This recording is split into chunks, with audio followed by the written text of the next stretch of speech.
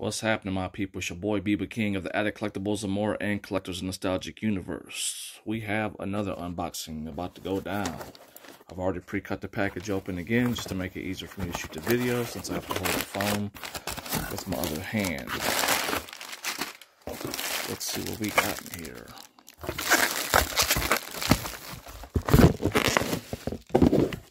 Sorry about that. It was really snug in that box. So, what do we have? We have a PSP.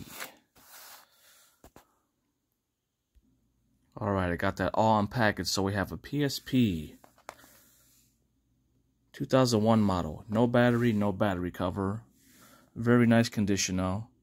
I'm going to have to check it out, make sure it works. It was stated as it was working, so I always make sure they do work before I put them out for sale. Came with a little memory stick that doesn't have much memory on it, but it's still cool to have a memory stick. So there you have it, PSP 2001 White Edition. As always, I appreciate you guys for checking out the video. If you're watching this on YouTube, please like and subscribe, and we'll see you guys on the next video. Peace out.